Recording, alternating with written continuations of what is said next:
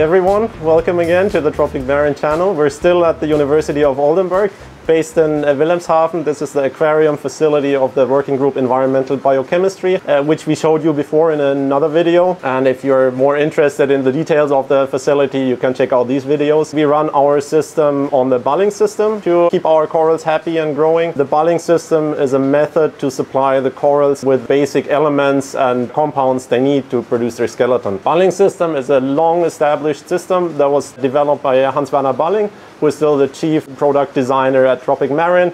And his expertise and experience allows to bring products such as this on the market. So we use the basic Balling system as uh, everyone can buy in the store. Nothing fancy that uh, we put in our tanks here. But even though most people have already heard uh, or know about the Balling system, I'm sure most of you know the ins and outs, I, I still uh, can go a little bit into detail how it functions and what each component is doing. A coral tank that is stocked with stony corals needs a supply system to level out the consumption of the corals. When corals grow, they build their calcium carbonate skeleton, as you can see here, which is comprised almost exclusively of calcium carbonate. And they produce the calcium carbonate by taking calcium ions and carbonates from the water, forming these wonderful, beautiful skeletons. Corals need calcium and carbonates that they take from the water and thus reduce the concentration of the available calcium and carbonate concentration. And that's something that corals don't really like. If the concentrations are outside their preferred ranges, then uh, they're not happy. And I'm sure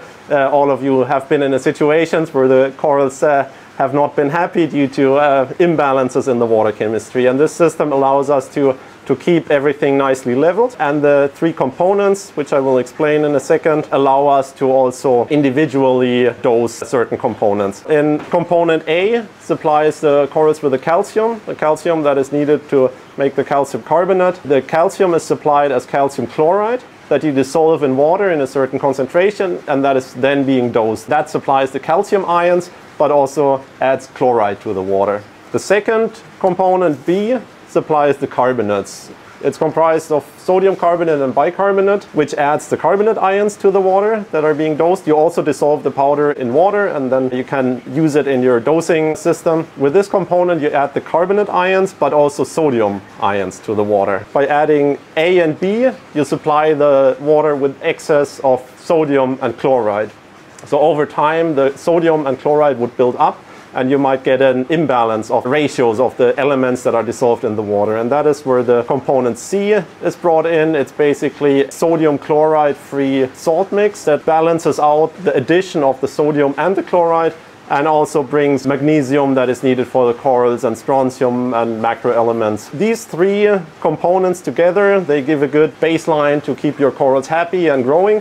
But of course, corals not only need the basics, but also trace elements. But that is really depending on your tank and your stock, how much corals you have in your system. So for the beginning, these three components should keep your corals happy for a while. Before we started to use the Balling system here in the facilities, we used the calcium reactor, which is also a fantastic system to supply your corals with the calcium and carbonate that they need. It's a bit more complicated though. It's much easier to use components like these everybody can understand if you need a certain amount of powder, you dissolve it in water, you put it in your dosing canister, that's it. So it's really not much that can go wrong compared to a calcium reactor with which you have to deal with CO2, bubble counts, and all the other fun stuff that comes with it.